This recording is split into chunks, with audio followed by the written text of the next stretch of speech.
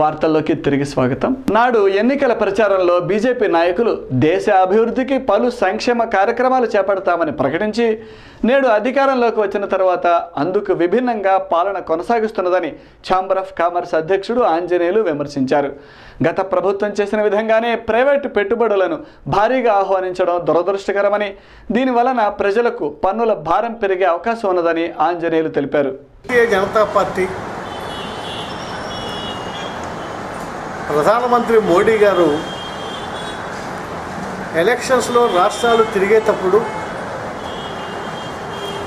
ప్రజా సంక్షేమాన్ని దృష్టిలో పెట్టుకొని అనేక కొత్త పథకాలను ప్రవేశపెడతానని కానీ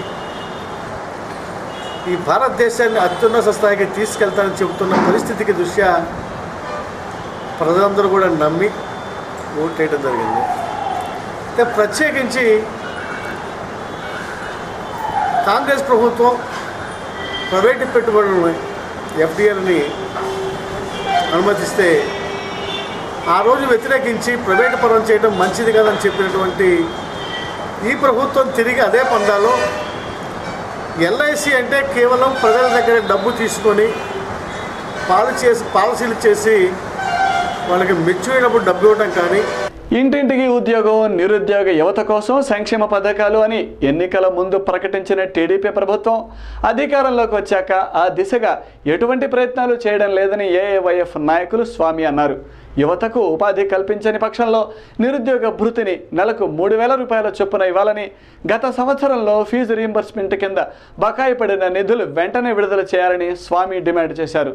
ఎన్నికలకు ముందు ఇంటికో ఉద్యోగం నిరుద్యోగ భృతి విద్యార్థులకు ఫీజు రియంబర్స్మెంట్ అని చెప్పి విద్యార్థులు యువకుల ఓట్ల ద్వారా అధికారంలోకి వచ్చినటువంటి చంద్రబాబు నాయుడు ప్రభుత్వం ఆ తర్వాత ఎన్నికల హామీలను తొంగలో తొక్కి నిరుద్యోగులను మోసం చేసే ప్రయత్నం చేస్తూ ఉన్నది. కాబట్టి పద్మూడు జిల్లాల్లో ఉన్నటువంటి ఎవరైతే నిరుద్యోగులు ఎంప్లాయ్మెంట్ కార్యాలయాల్లో నమోదు చేసుకున్న ప్రతి ఒక్క నిరుద్యోగికి వెంటనే ఉద్యోగ అవకాశం కల్పించాలి. అలా లేని పక్షంలో నిరుద్యోగ వృద్ధి కింద మూడు వేల రూపాయల చొప్పున ఇవ్వాలని ఏఐవైఎఫ్ రాష్ట్ర కమిటీగా మేము డిమాండ్ చేస్తా ఉన్నాం.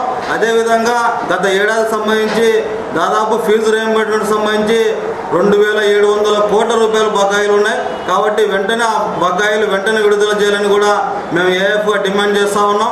ప్రధానంగా ఈరోజు కమ్యూనిస్ట్ పార్టీ అగ్ర నిర్మాత యువతకు స్ఫూర్తి ప్రదాత కామ్రేడ్ చంద్రరాజేశ్వరరావు యొక్క శత జయంతి ముగింపు ఉత్సవాలు ఆగస్టు పదకొండవ తారీఖున హైదరాబాద్ నగరంలో భారీ ప్రదర్శన బహిరంగ సభ ఏర్పాటు చేసుకోవడం జరుగుతుంది కాబట్టి యువకులు కూడా పెద్ద ఎత్తున పదకొండవ తారీఖున జరగబోయే సభలో పెద్ద ఎత్తున పాల్గొనాలని కూడా మేము ఈ సందర్భంగా యువతకు పిలుపునిస్తూ ఏవైతే ఎన్నికల హామీలు ఉన్నాయో ఆ హామీలను వెంటనే కనుక అమలు చేయకపోతే అఖిల భారత యువజన సమాఖ్య ఏఐవైఎఫ్ ఆధ్వర్యంలో పెద్ద ఎత్తున కూడా రాష్ట్ర వ్యాప్తంగా ఆందోళన చేస్తామని ఈ సందర్భంగా రాష్ట్ర నగరపాలక సంస్థలో పనిచేస్తున్న అధికారులు విధులకు హాజరవ్వకుండా ఇళ్ళకే పరిమితమవుతున్నారని దీనివలన రోజువారీ జరగాల్సిన పనులు వాయిదా పడి ప్రజలు తీవ్ర ఇబ్బందులు ఎదుర్కొంటున్నారని మినిస్టీరియల్ ఎంప్లాయీస్ రాష్ట్ర ఉపాధ్యక్షుడు నమ్రత్ కుమార్ ఆరోపించారు.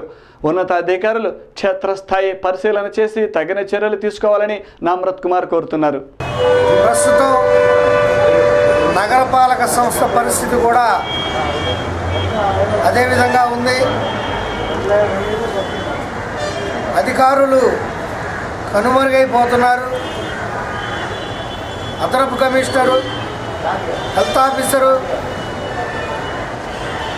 మరియు సిటీ ప్లానరు కనుమరుగైపోయారు. మీరు వస్తారో రారో తెలియదు మీరు విధులు ఎవరు నిర్వహిస్తున్నారో తెలియదు అలా ఎందుకు నిర్వహించాలో తెలియదు అదేవిధంగా సూపరింటెండెంట్ పోస్టులు ఖాళీ సీనియర్ అసిస్టెంట్ పోస్టు ఖాళీ జూనియర్ అసిస్టెంట్ పోస్టు ఖాళీ ఆఫీస్ సబార్డినేట్ పోస్టులు ఖాళీ. ఇలా అన్ని పోస్టులు ఖాళీగానే ఉన్నాయి. టోటల్గా నగరపాలక సంస్థ ఖాళీ. ఈ ఖాళీగా ఉన్న ఆఫీసును నడపటం అవసరమా? దీన్ని ఒకసారి ఉన్నతాధికారులు క్షేత్రస్థాయిలో పరిశీలన జరపాలి.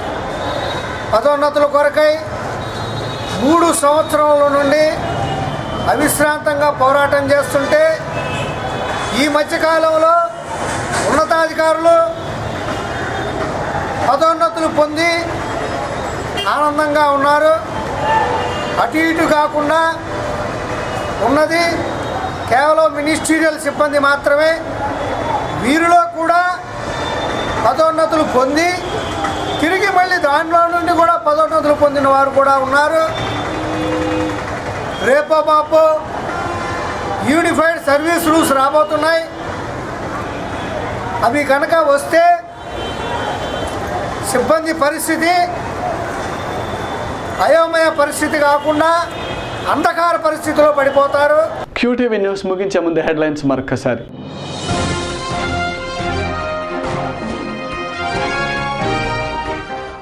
రాష్ట్రం నుండి నూరు శాతం అక్షరాస్యత సాధించేందుకే ప్రభుత్వం బడి పిలుస్తోంది కార్యక్రమం రూపకల్పన. రాష్ట్ర సంక్షేమ శాఖ మంత్రి రావెల కిషోర్ బాబు.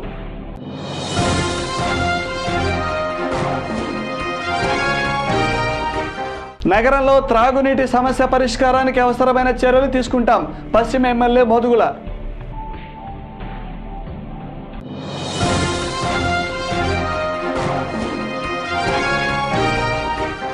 ప్రైవేట్ హాస్టల్స్ క్యాంటీన్ల నిర్వాహకులు ప్రభుత్వ అనుమతి తప్పనిసరిగా తీసుకోవాలి. ఫుడ్ కంట్రోల్ అధికారి పూర్ణచంద్రరావు. ఇవి ఈరోజు విశేషాలు. మరిన్ని వార్తలతో మళ్ళీ కలుద్దాం. నమస్కారం.